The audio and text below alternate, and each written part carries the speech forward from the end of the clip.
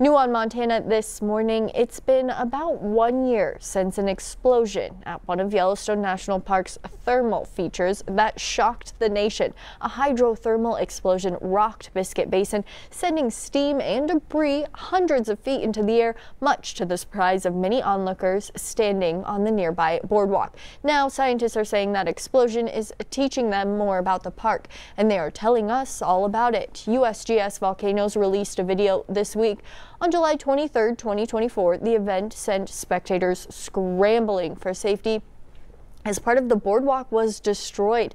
No one was hurt, but the area remains closed to this day. Scientists say by examining the rocks, they could learn that it happened when the shallow system became sealed by minerals that had been transported by water.